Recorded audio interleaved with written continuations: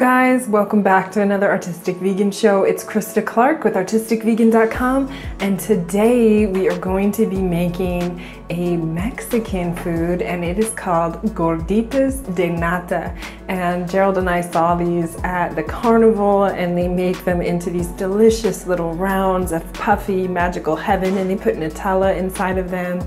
And today we are going to be taking our hand at making them, but making them vegan. So they won't be with the nata, which is kind of a um, curdled cream, if you will, of milk.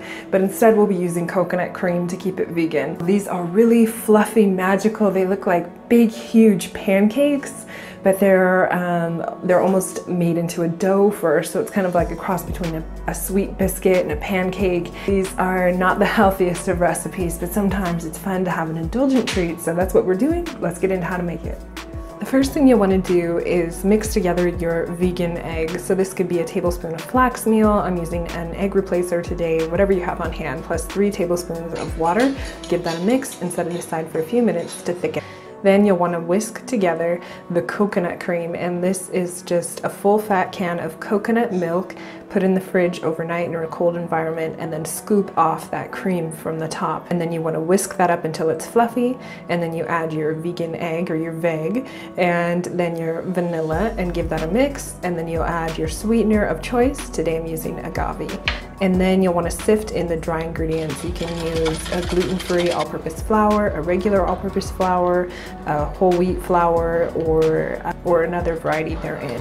So you'll sift that in. Also want to add in some baking powder, some baking soda, some pink Himalayan sea salt or salt of choice, and some cinnamon and then you mix that together with a spoon until it's nearly impossible and then you'll take the spoon out of the equation and get in there and knead it until it's nice and smooth and supple and then place that in the fridge for 30 minutes or up to overnight. At this point now after it's been in the fridge you can flour a clean surface and knead, spread or roll out the dough until about a centimeter and then take a round cutter and cut little circles into them using a cookie cutter or you could even just shape them into circles, whatever's easiest for you, and then cook them on a very low heat. Proceed until done and then you can serve them. Traditionally it's often with the Nutella in there so you can make a vegan Nutella and put that in there. Oh my, that would be really nice.